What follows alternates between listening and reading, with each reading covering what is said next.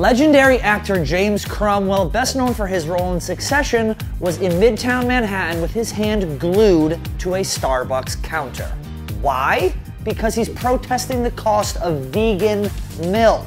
It's important to note that James is 82 years old, meaning he's spending his golden years not with his kids, not with his family, but ruining the day of some poor minimum wage worker at Starbucks, which just goes to show he's just as much of an ass in real life as he is on the show.